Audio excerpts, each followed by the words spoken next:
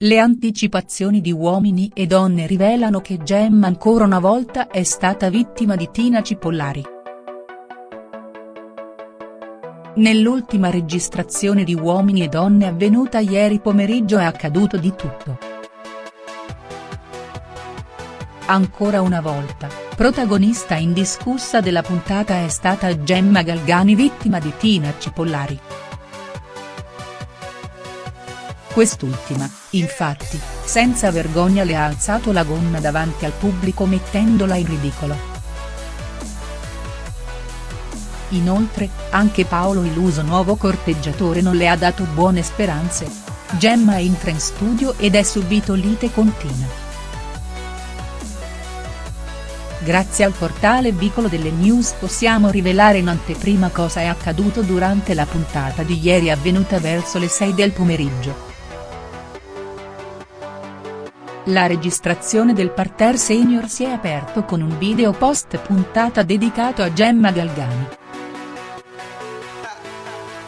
La direttrice di teatro dopo essere stata scaricata da Rocco, ha voluto esprimere il suo stato d'animo venendo bloccata più volte da Tina Cipollari.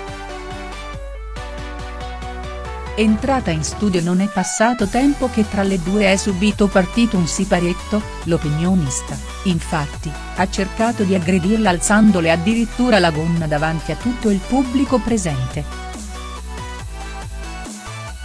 Il comportamento di Tina ovviamente ha fatto anche questa volta degenerare la situazione, tanto che Maria De Filippi è stata costretta ad intervenire. Gemma e Rocco si sono sentiti. Gemma Galgani durante il suo racconto ha spiegato che nei giorni precedenti ha sentito telefonicamente Rocco. La piemontese, però, ha tenuto a precisare che da entrambe le parti nulla è cambiato ed il loro rapporto è rimasto uguale. Nonostante tutto, Fredella per chiederle scusa ha voluto lasciarle una rosa in segno di amicizia. Dopo aver accantonato, la questione, Maria De Filippi ha fatto entrare il suo nuovo corteggiatore Paolo, dandogli la parola. Gemma e Paolo si sono baciati. Tra Gemma e Paolo pare sia nata una vera e propria simpatia. Il cavaliere di circa 10 anni più giovane di lei sembra davvero interessato alla dama e lo avrebbe già dimostrato. Dopo aver trascorso una piacevole serata a cena tra i due è scattato già il primo bacio, lasciando il pubblico senza parole. Dal suo racconto, però, un dettaglio non è piaciuto alla Galgani ovvero che per lui non è ancora scattato un vero sentimento.